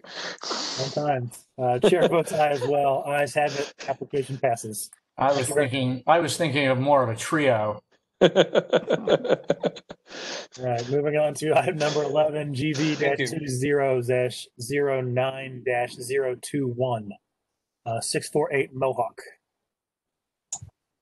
Mr. Chairman, I am going to recuse myself from this and turn off my camera.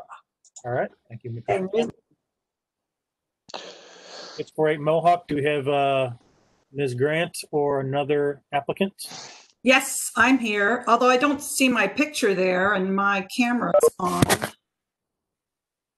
here on this end. I see your name. Yeah, but I do have my camera on, so I'm not sure why. It might be a, a bandwidth or connectivity issue. I don't know if you're on your phone or computer, but if we can't get it up, maybe another device. Um, I normally don't have a problem. I, I have plenty of bandwidth. Um, can we do it without looking? I can see if I can figure out. Um, yeah, I don't normally have a problem with the band. I haven't so far. I do lots of Zoom meetings. Um, it, my, um, camera's open, it's on. Can you try turning it off and then back on? Not the whole thing, just the camera. Uh, the camera? Where do I, where do I do that?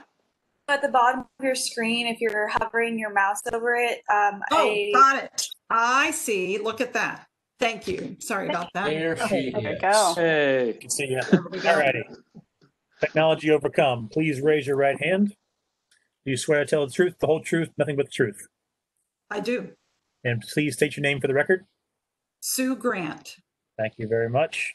All right, Jacqueline. This application involves removing the existing brick at the old porch entry and at the side of the house. It also involves cleaning up extra soil piled up against the existing iron fence. The applicant would like to install a new brick walkway to the recently added front door located at the side of the house and to install a new brick walkway to the backyard. Um, the applicant would also like to install new plating for the submitted plan, and this would uh, include boxwood hedge, incredible hydrangea, and then the couple of other different vegetation listed there. Uh, The applicant has responded to feedback from the business meeting, um, specifically that they would wish to retain some of the character of the original cottage and entry by leaving the fence and steps, which are in place, that no retaining wall will be required, and that the soil on the side of the steps will be graded smoothly so that the soil doesn't spill onto the steps or sidewalk. The grade on the right side of the steps will be rounded out at the top in order to better transition the grade and the grade to the left of the steps and in front of the porch will be similar to the existing grade, which has not required a retaining curb wall previously. The applicant also notes that when the thick layer of existing weeds is removed from the base of the fence in front of the porch area, uh, the bottom of the fence will be visible. And on the right side of the steps, the soil will be regraded to match the left side instead of being piled up against the fence. All righty. Uh, Ms. Grant, do you have anything to add? Uh, no, I don't. All right. Questions, comments from the commission? Just one, one note, which is an easy note. Um, brick to be Belden Belcrest 760 herringbone laid on base. Uh, can we assume that's laid on a dry base? Yes, base rock, yes. Thank you.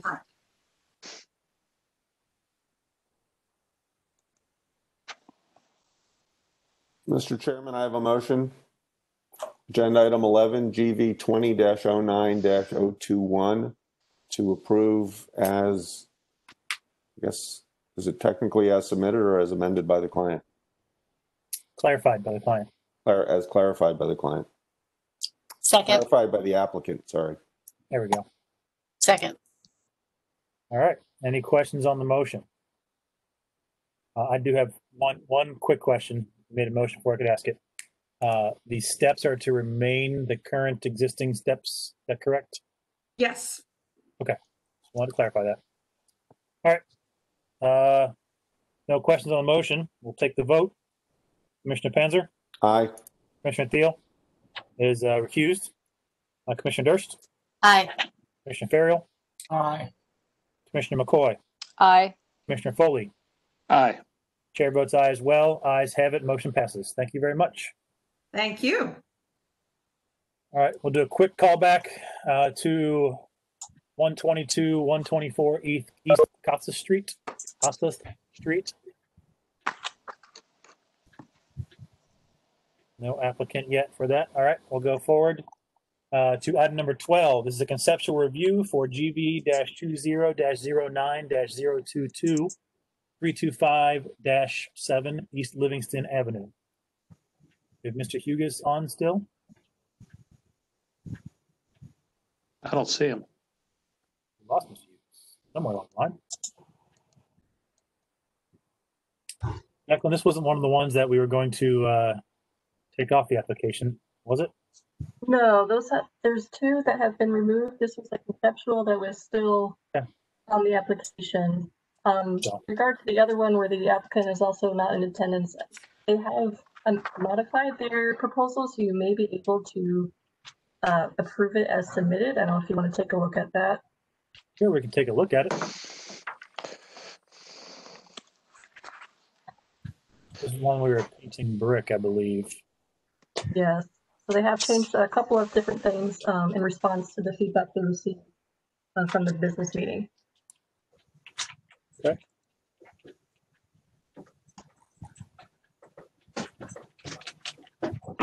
If I, can look at this right, it looks like instead of having the black stone painting, they're going with the colonial revival gray and origami white on the field of brick. Appears to not painting the stone foundation anymore. That's correct, and they're also not proposing to use a sealant. So they removed that part from the application.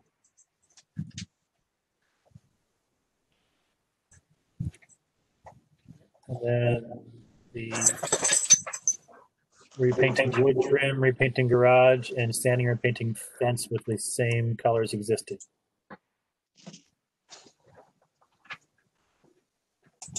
Is any commissioner, real quick, we got uh, Commissioner Thiel back on the record, by the way. Uh, Any commissioners have any issue approving or voting on the application without the uh, applicant here? Any problems with the application as submitted?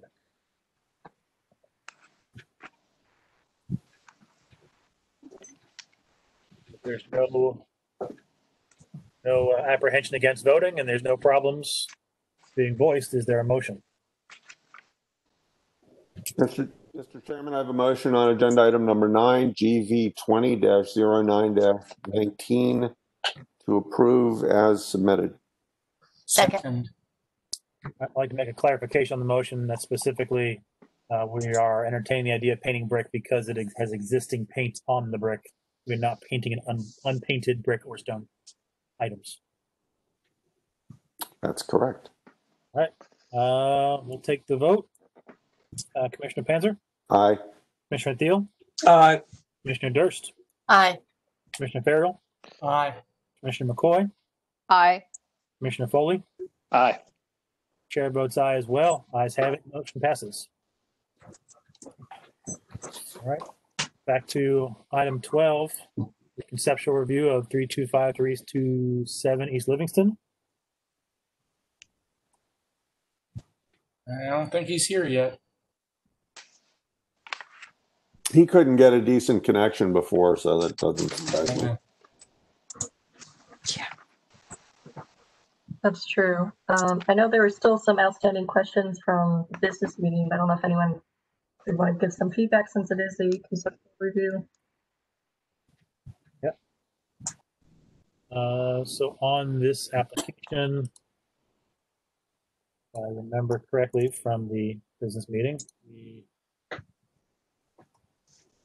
parking, uh, they are maintaining existing parking quantities that were more than what was required, remember correctly.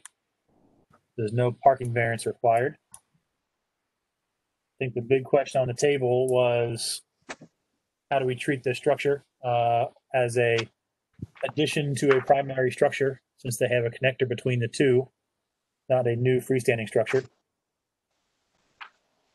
And there's a piece of a garage inside the addition to the primary structure. I think was a concern. Right, and the, the general proposed uh, conceptual review was in regard to the zoning. Um, the current zoning is C4, and there are two existing single residential units and two separate buildings. So the concept review was the addition of two residential units, as we discussed, um, to the empty front area along Livingston with parking provided for one car per bedroom for all the units. And then they noted that the concept proposal will require a use variance um, as well as a parking variance.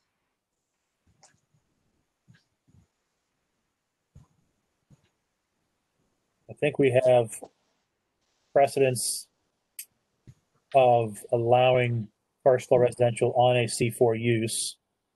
Uh, if we look at the Cedar Square, we did that because we had existing residential there. So I would say, I don't think there'd be any heartache about putting a uh, first floor residential use. I think our question was why the connector? Yeah. And I'm wondering whether it's just like an open porch to shelter that front door that's sort of shown on the existing building. But we don't know. We don't know. Yeah. We need a little, we need a little more architecture. I'm wondering about the parking variance. One, two, three, four, five. They're showing s- Plus the Five. garage. Yeah, there's one in the garage. So it looks like there's six. One, two. Okay, whoever's moving, whoever's controlling the world, stop moving that for a moment. It's Making me a little nauseous. Okay, we got one unit, two, three, four units, which would in theory require eight spaces, correct? Is it two per or is it one and a half per? I think it's 1.5. Well, 1.5. it's screwy. that Is would it be one six. point five uh, on a single site or is it one point five? It's one point five for multiple housing, multi, multi, multiple housing, but the city is granting one point everywhere. Well, Well, so, but, So but 1.5 acco- is what it- according to code, you, bel- uh, uh, according to code, the common wisdom here is that one point five would be required. Yep. Yep. So if it's one point five and we've got, what did I say, four units, it's six spaces, Right. that's it, that's, they've got it. Yeah. And they have it. So I don't understand the parking variance. That's where we're gonna need some, some information from the applicant. Yeah. Okay. Yeah, I have not received any uh, response back from the business meeting feedback that was sent out. Um, It sounds like it's basically the same questions, understandably. Okay.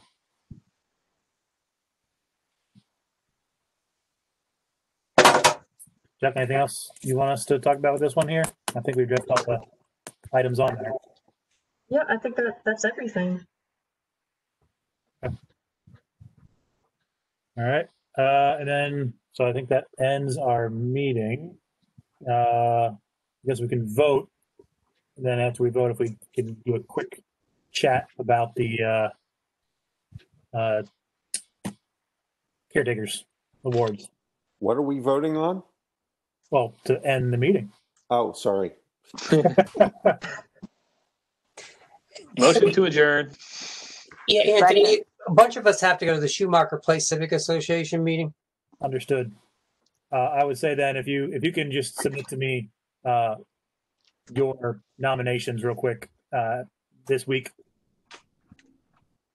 Find the ones we had. All right. Uh, so we had a a motion to adjourn. Is there a second? Second. All right. Uh, Commissioner Panzer, Aye. Commissioner Durst, Aye. Commissioner Farrell, Aye. Commissioner McCoy, McCoy, Aye. Commissioner Foley. Aye. Chair votes aye as well. Ayes have it. We are adjourned. Just, just FYI for everybody, I looked up the zoning code for four or more dwelling units, one point five spaces per unit. So we confirm that. All right. Thank you, everybody, for your time. Please give me nominations for the uh, the caretakers. If anybody's got record of the notes that we took last time we talked. Hey, and Anthony, just so since you didn't ask me, I vote against it. Against the